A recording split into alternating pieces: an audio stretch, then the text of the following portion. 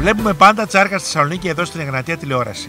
Και να σας ευχηθούμε καλά Χριστούγεννα, καλή χρονιά με υγεία το 2021 και βέβαια καλύτερες μέρες για όλους μας. Να λήξει αυτή η περιπέτεια, αυτή η πανδημία του κορονοϊού με τον καλύτερο δυνατό τρόπο.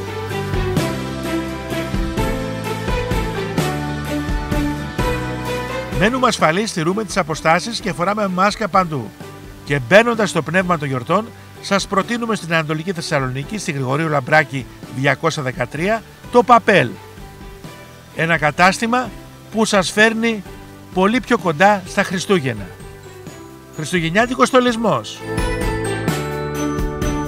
Γούρια για το 2021. Παιχνίδια, παιχνίδια λέγκο. Βιβλία, σχολικά, πάζολ για όλους.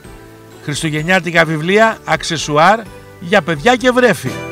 Παιχνίδια για το κορίτσι, παιχνίδια για το αγόρι. Βρεφικά παιχνίδια. Η ιδέα δημιουργίας του Παπέλ οφείλεται στην προσπάθεια της ομάδας μας να προσφέρει χαρά στα παιδιά κάθε ηλικίας.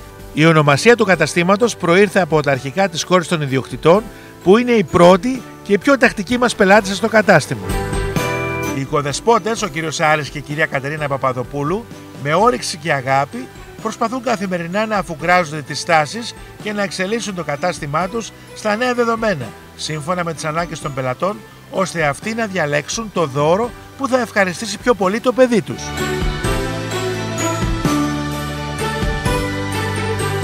Παπέλ, ωράριο λειτουργίας, καθημερινά από τις 7 μέχρι και τις 8.30 το απόγευμα.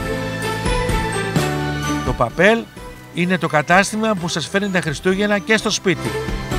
Ανακαλύψτε τα. Ηλεκτρονικό κατάστημα papel.gr Παράδοση εντός του νομού Θεσσαλονίκης.